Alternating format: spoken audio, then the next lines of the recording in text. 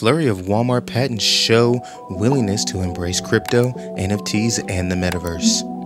Walmart has developed plans that involve the creation of its own crypto assets, launch collections of NFTs, and yes, you guessed it, enter the metaverse. Per reports citing filings made with the American Patent and Trademark Office.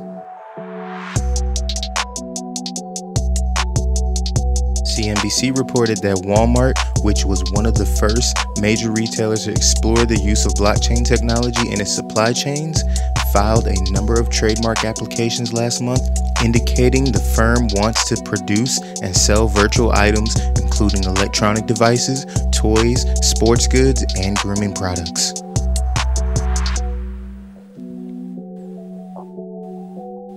One patent application detailed Walmart's intention to patent the following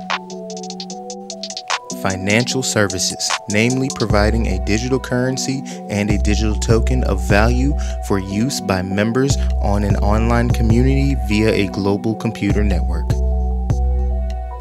Another made note of plans to create downloadable software for use in managing portfolios of digital currencies, virtual currencies, cryptocurrencies, digital and blockchain assets, digitized assets, digital tokens, crypto tokens, and utility tokens.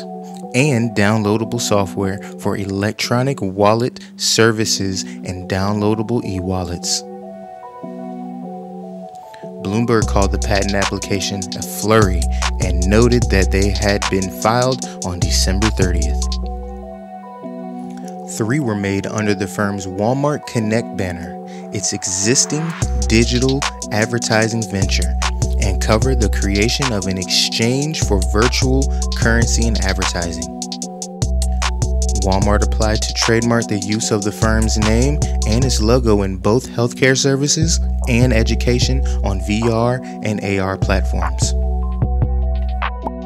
CNBC quoted a trademark attorney named Josh Gerben as explaining that the filings were super intense due to the fact that there's a lot of language in these applications.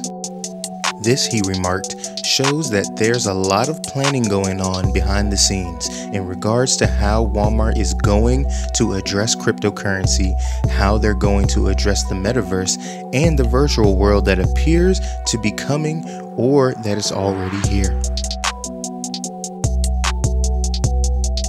In the world of business, patents do not always directly equate to business plans. Often, firms register patents before they have cemented plans to ensure that the trademark and innovations they wish to use have not been cornered by others. For instance, last year, the Spanish retail giant El Corte Inglés copyrighted a number of Bitcoin themed trademarks and brand registrations, but has yet to unveil any crypto related business moves in the months since. In August, Walmart posted a job vacancy for a role that would see a new hire develop a digital currency strategy and product roadmap and find crypto related investment and partnerships. Last year, the firm launched a Bitcoin ATM pilot at a number of its stores. Redditors met the move with some skepticism. Many agreed that the firm's crypto plans should center on adopting existing tokens like Bitcoin. One wrote, Why would we want to buy a Walmart crypto when we already have so many working cryptos? Just accept crypto. There were also no shortage of one American's favorite pastimes, Walmart bashing. A Redditor elsewhere on the social media platform quipped, Just imagine entering a Walmart in the metaverse.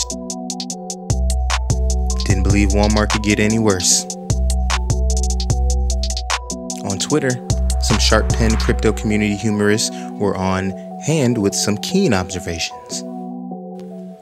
One commented that the move was aching to a Hail Mary pass as traditional retailers struggle to cope with online rivals.